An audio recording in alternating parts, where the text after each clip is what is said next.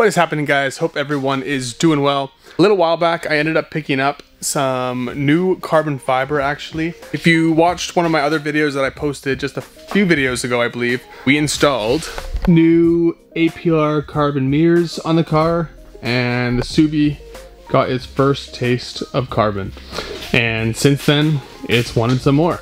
So we ended up going ahead, picking up one of those APR carbon fiber license plate surrounds right down here, kind of in this groove in the rear bumper. What I ended up doing with this actually, as soon as I received it, took it over to G19 here. It's a local uh, they do like wraps and uh, PPF and whatnot. Uh, but G19 here in Edmonton, and they got this thing fully protected in some XPEL PPF. Just over time, um, I think carbon fiber in the sun has a tendency to maybe fade, um, so that film should help protect against kind of the UV rays and everything. So hopefully that carbon fiber stays looking fresher for longer. That's what I ended up doing as well with the carbon mirrors. I ended up getting those protected before I put them on the car so that uh, nothing gets all chipped up on our awful roads. The Subie is looking extra fresh. For those that don't know, I actually just ended up posting a wash video on this. Doesn't get much better than that, guys. But, um, anyways, I was trying to do like a little bit of a test fit on this and I did realize the fitment on these APR pieces I think are super snug so I'm hoping I can get it to fit well.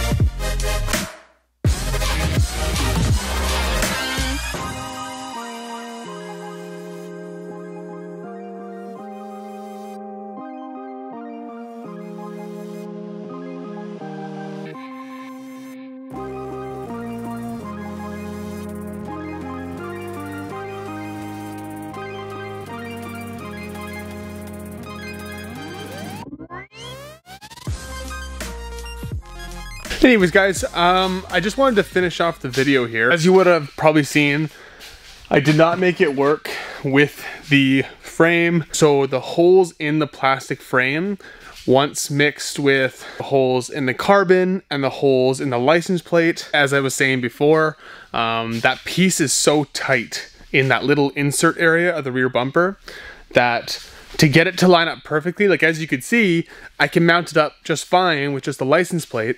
But if I try doing it with the frame, it's just kind of too much. It ends up becoming just really tight and awkward to try and get everything lined up in order to get a screw through it.